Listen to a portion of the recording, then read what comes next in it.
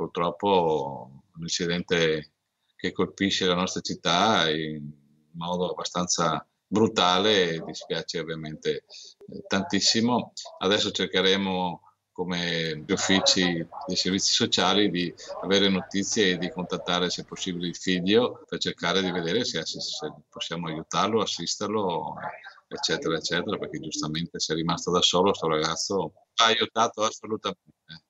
Si mette a disposizione del giovane Emilian il sindaco di Jesolo Valerio Zoggia come atto concreto di vicinanza e cordoglio. La famiglia Ciobanu viveva da meno di un anno nella zona dell'ospedale, ma già era conosciuta e ben voluta anche in parrocchia. Si stavano integrando, mi dicono, con la comunità che vive vicino, ma non con tutti, anche con noi, con gli italiani, con tutti, eh, essendo rumeni, e erano molto devoti, quindi frequentavano molto la, la nostra parrocchia, che era quella zona là, piazza Milano. Il dolore però si fonde con i soliti interrogativi che accompagnano le tragedie sulla strada. La Triestina è tra le arterie più pericolose in un territorio, quello dell'Altinate, già colpito anche nel recente passato. Noi purtroppo nel nostro territorio siamo stati colpiti anche negli anni passati anche da altre tragedie che, che riguardavano tratti stradali che vanno da Porta Grandi fino a Capossile. Qualcosa è stato fatto, sicuramente eh, ve lo posso dire a memoria che eh, gli incidenti si sono